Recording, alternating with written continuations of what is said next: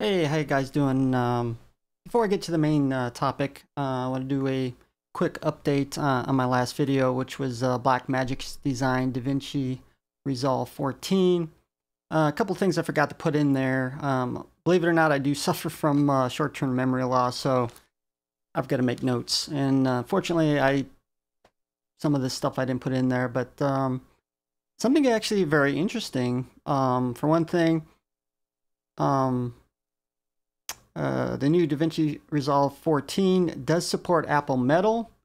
Uh, for you guys don't know where Metal is, perhaps. Um, Metal is Apple's version of uh, something similar to Vulkan, I guess, where the operating the operating system has direct access to the GPU rather than going through the CPU, and which means it's going to be um, faster response times, faster rendering, and things like that.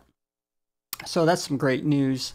Um, keep in mind it is in beta, uh, according to some of the comments in my last video. Some people have been having trouble using it. Um, and I think I did have trouble using it once, but on the most part, it, it worked for me pretty well.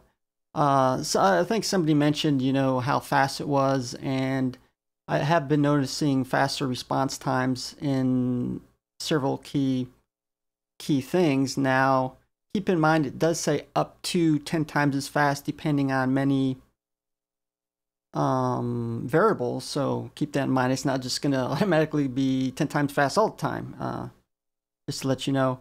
Now, most interestingly, they dropped the price. Now, this is the Mac App Store. Um, the DaVinci Resolve, uh, well, I think currently the current version, um, they actually re reduced it down twice. Now it's actually $300. Um, so it looks like they're competing perhaps a little bit with Apple Final Cut Pro 10, which is a good thing. I primarily use um, Final Cut Pro 10. It's the fastest uh, for me to use, but I do kind of uh, love dabbling in DaVinci Resolve. Now, a lot of times, if sometimes when software comes out, for, for instance, in, in the Mac App Store, sometimes they don't put necessarily all the little features.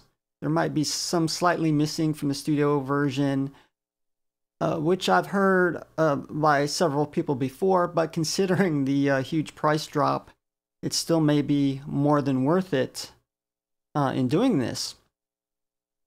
And um, yep, and that's what, what I wanted to cover in the uh, the, uh, the last video.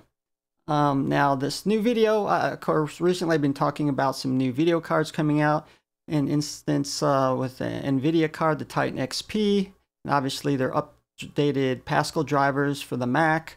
Now, we're actually going to take a look at the AMD now. And uh, let me switch pictures real quick, uh, which is the Radeon Pro Duo. And this should be coming out, uh, I don't know if they said it was May or the next month or two. And um, now AMD is touting this is the first dual GPU designed for professionals.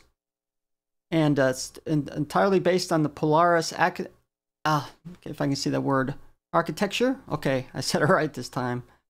Um, I'm gonna, uh, gonna give you some quick specs. Of course, everybody likes specs, right?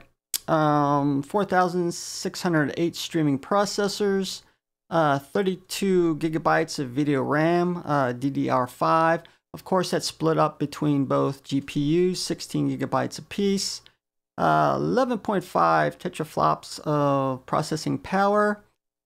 Um, and this is most important. Uh, it can drive up to two 8K monitors. Now, depending. Now if you're driving two 8K monitors that may take some of the processing power away so but it's great for people who um, are thinking of are going to 8K and then obviously you're going to go probably to 4K or whatever. So this is going to be important for these people to be able to drive an 8K monitor and it's also going to be twice as fast as the previous cards. Um, now now, the con of this, it doesn't seem to have any Mac drivers. Now, uh, this may be due to, um, of course, the previous 2013 Mac Pro not having slots. Of course, Apple has said they are coming out with a new Mac Pro in the next year or two. Of course, we don't know if they're going to use PCIe slots or their own proprietary or whatever, well, but we'll see. But this may just only be temporary, and it's kind of funny because um, Apple's been using AMD uh, for quite a while now, and which is uh, they also optimize for OpenCL, and so we'll see uh, on that.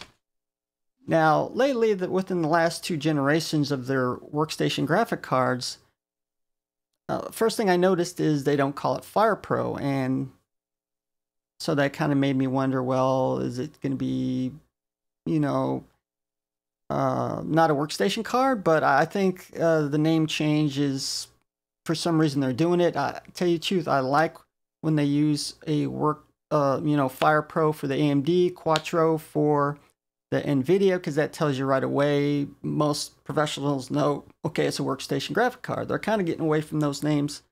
I'm not saying it's, if it's good or bad, but it, you know, makes it kind of confusing some, sometimes. Of course, what makes a workstation card a workstation card is uh, custom drivers, uh, better support, and guaranteed support in certain pro applications.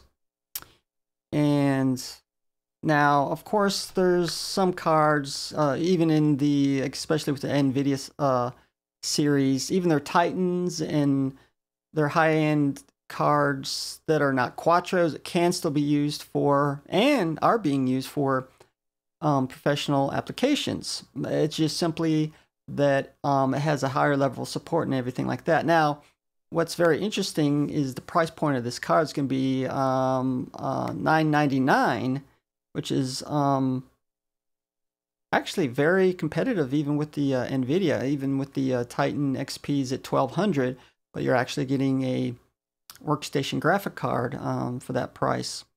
So yeah, uh, that's the uh, update from the last video and AMD's new uh, Radeon Pro Duo.